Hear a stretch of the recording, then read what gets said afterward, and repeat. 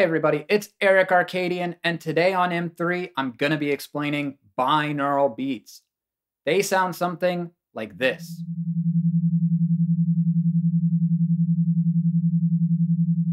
They've got a few very interesting practical applications, but the science behind how they work is also fascinating, so we're gonna talk about all of it. Let's get started.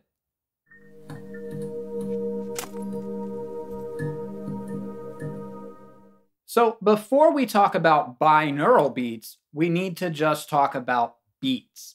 And before we do that, we need to talk a little bit about sound waves themselves. I've got chapter markers on this video, so if you already know some of this stuff, please feel free to jump ahead. Sound waves are pressure waves, basically patterns of disturbances that move through a medium. They can propagate through solids or liquids but most frequently, we're perceiving them traveling through the air to our ears. This graph is a pretty typical way of representing a sound wave.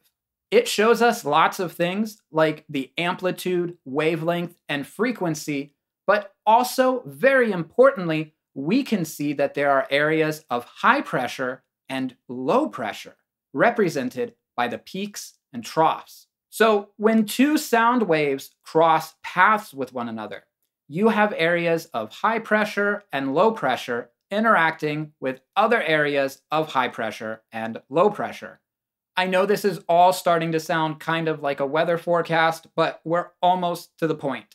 Basically, when highs combine with highs or lows with lows, it results in constructive interference, which is amplification everything gets louder. However, if a high combines with a low, it will result in destructive interference. If you have too much destructive interference, you wind up with cancellation. No noise at all. Fun fact this is how noise canceling headphones work. They use a microphone to analyze the ambient sounds around you and then generate an opposite sound wave, or we might say inverted or 180 degrees out of phase, and the two cancel each other out.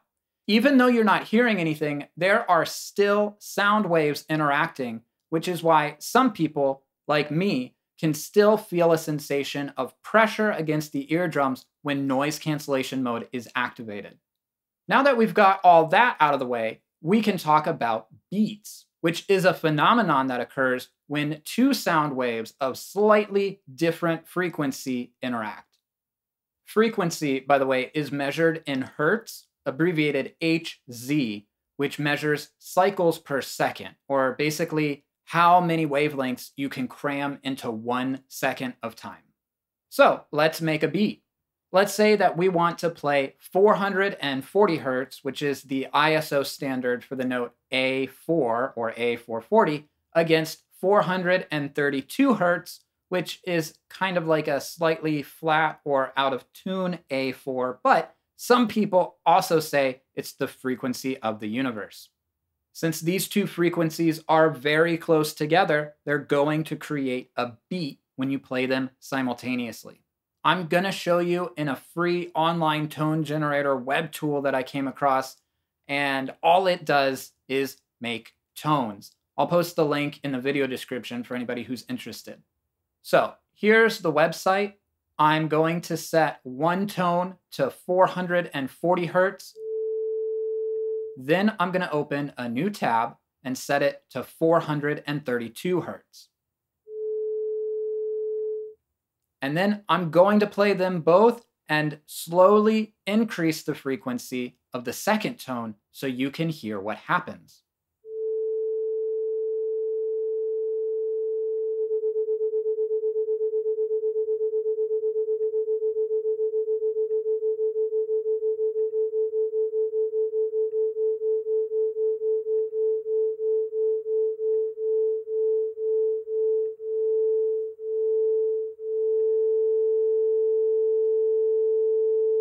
I know that's kind of an annoying noise, but it really helps you hear what's going on. And to illustrate it visually, let me show you some more graphs.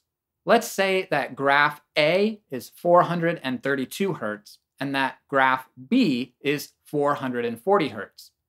At first glance, they look pretty similar, but if you lay them over the top of one another, you'll see that there's some misalignment.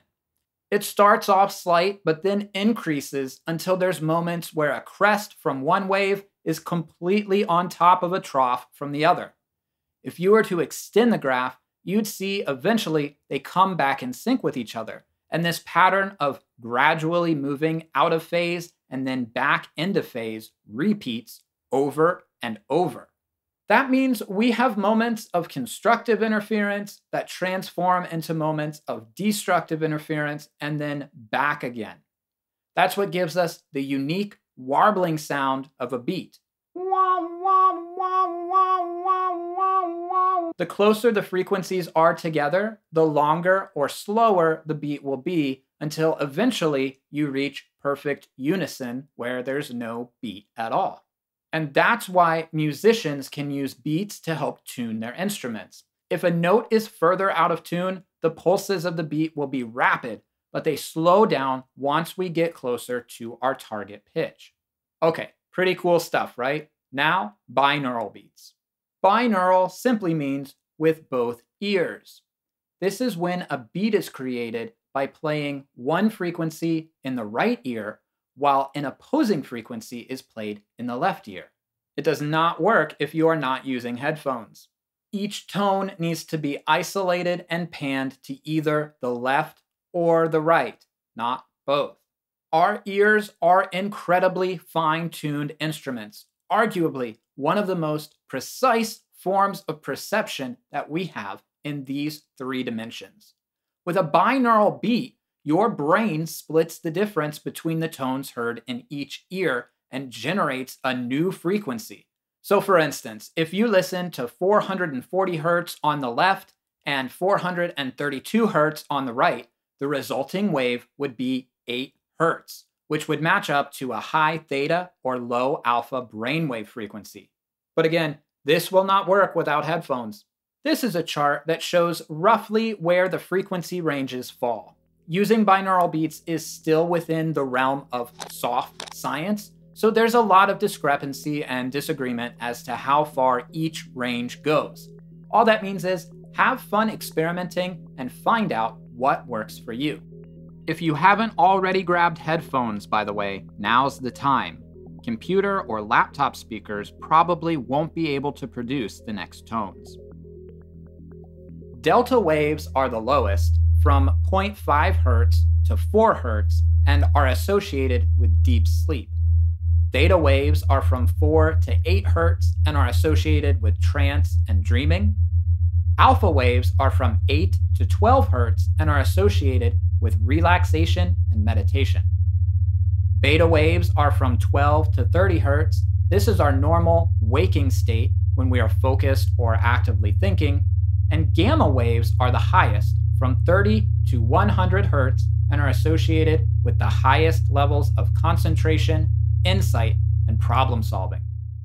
We could go more in depth into each of these in more videos, but for now, here are a few suggestions and caveats. First of all, it doesn't work without headphones. Have I said that before? Even still, binaural beats can't be perceived by everyone that doesn't mean you shouldn't still try regardless. After about 30 hertz of separation between tones, it becomes very difficult to distinguish the beat itself, and your brain will start to hear each note as a separate thing. If you're looking for something deep and meditative, binaural beats produced using lower tones works very well, but if you're looking for something highly focused and active, higher tones work well. There's a lot of debate in this realm, but even if you don't believe that you're in training specific brainwave frequencies, at the very least, binaural beats produce a very trippy, hypnotic audio effect that can help lull you into a deeper meditative or trance state. There are tons of binaural beat playlists available on YouTube or streaming platforms like Spotify. You could try listening to some of those or use audio software or a free online tone generator, like I showed you earlier, to produce your own specific beat and then layer some type of music over top of it. Ultimately, experimentation is the name of the game. Find out what works for you and have fun doing it. And while you're having fun, please hit the like and subscribe button. If you have a question or comment, please leave it below and we can have a conversation. You can also follow me on Facebook, Instagram, or Patreon at Aerik Arkadian, where you can find out how to support me making more videos like this in the future. Remember, there's always a way to make music. Until next time.